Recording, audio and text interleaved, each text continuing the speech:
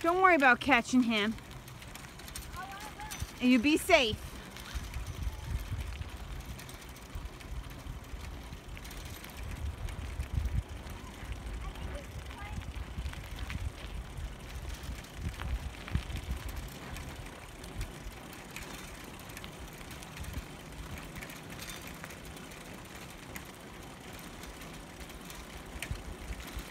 Careful.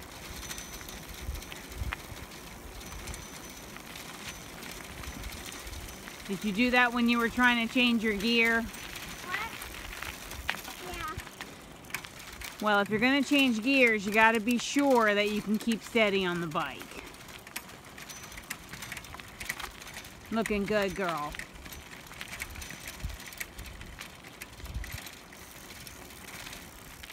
What's happening? I need to go in the water. What? What happened to catching him? Water when you're all done.